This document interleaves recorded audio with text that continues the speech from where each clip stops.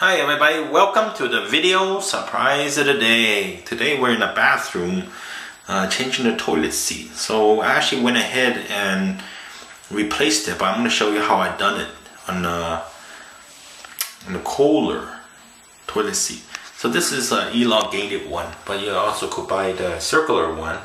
And this particular one that I purchased is a replacement seat. So this one has uh, number R4636-O is called this name over here and it's the Advantage Quick Release. Mm, it's, the color is white by the way. Let's zoom in a little bit more. Elongated bowl seat. Pretty easy to install. Basically what you need to do is just take the clip out, lift this up uh, insert it, put the screws through, then twist. It's a twisty. So this twisty, just twist all the way up. Twist until you can twist. The other way to do it is probably use a uh, screwdriver and twist this thing, hold the bottom at the same time on each one. Then screw it in. Once you screw it all tight, close the cap. And that's your toilet seat a nice toilet seat. The advantage of this toilet seat is basically this. Besides that it doesn't move back and forth.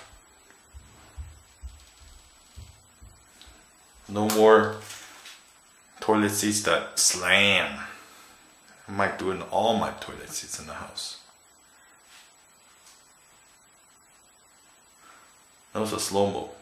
I'm not changing the speed on this camera and it doesn't move back and forth. See? Yeah, very good toilet seat, very good fit. If you, it's good to buy the OEM one, uh, possible for replacement. So you know, so you can lift the toilet seat. Try that again. Okay, there you go. So that's the video surprise of the day. I purchased this one from Home Depot, by the way.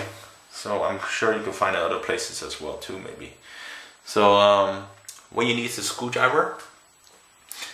Um, you know, it's not loose, prevent looseness, loosening, and easy to clean, perfect fit. It took me like 10 minutes to do. So I'll just let you know. And once again, that's the video surprise of the day. And this is the this brand from Kohler. It's the Vantage Quick Release. Okay. Hope you liked the video and let's see you next time.